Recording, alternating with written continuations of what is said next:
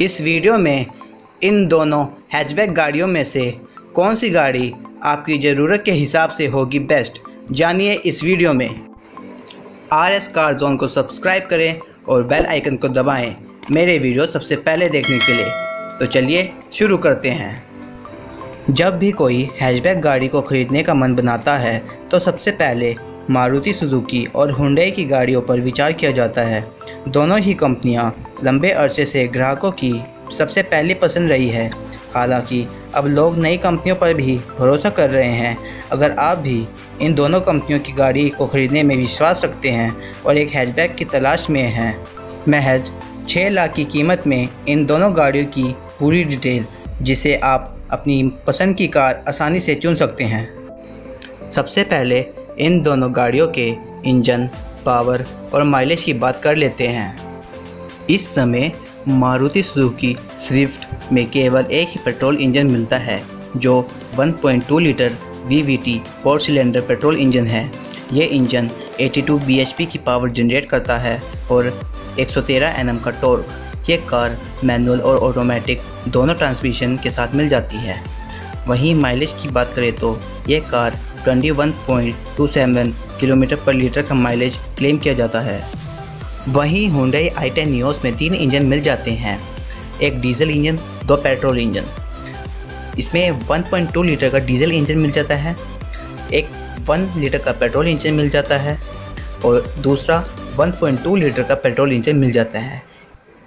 1.2 litre petrol engine के साथ CNG का ऑप्शन भी मिल जाता है। हालाँकि इस कार के पेट्रोल वर्जन से सिर्फ़ पेट्रोल की तुलना करें तो इसकी पावर और टॉर्क में कोई ख़ास अंतर देखने को नहीं मिलता है। दोनों ही गाड़ियाँ same engine same power same torque के साथ मिल जाती है।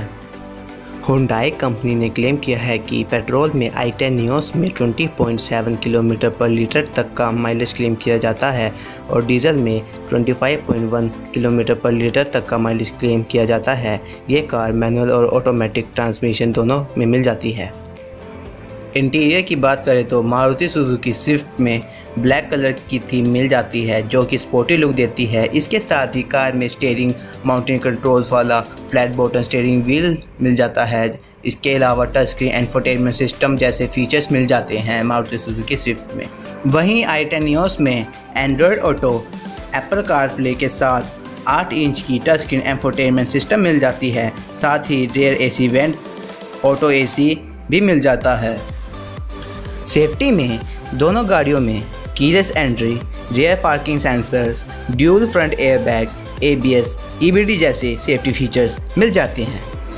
प्राइस की बात करें तो मारुति स्विफ्ट का प्राइस 5.19 लाख रुपए से शुरू होता है। वहीं इसका टॉप वेरिएंट का प्राइस 8.02 लाख तक मिल जाता है।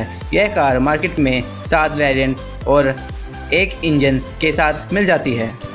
वहीं हुडई आई टेन न्यूज़ का प्राइस 5.06 लाख से शुरू होकर 8.29 लाख तक मिल जाता है।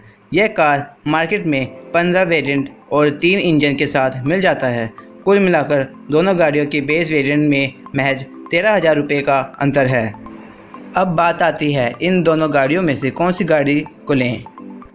कुल मिलाकर देखा जाए तो मारुति स्विफ्ट और हुंडे आइटेनियोस दोनों ही गाड़ियों में अपनी अपनी खूबी है। अगर आप डिज़ाइन चाहते हैं तो आपके लिए हुंडे की i ten Nios best option है, क्योंकि कंपनी ने पिछले साल इस कार को न्यू डिज़ाइन के साथ लॉन्च किया था। वहीं अगर विश्वास की बात करें तो लंबे समय से मार्केट में मौजूद होने के चलते मारुति स्विफ्ट ग्राहकों की पहली पसंद रही है।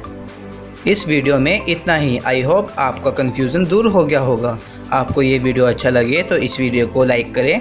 इस चैनल को सब्सक्राइब करें और कमेंट करके बताएँ इन दोनों कार में से आपको कौन सी कार अच्छी लगती है और कौन सी कार आप लेना चाहते हैं। Thank you.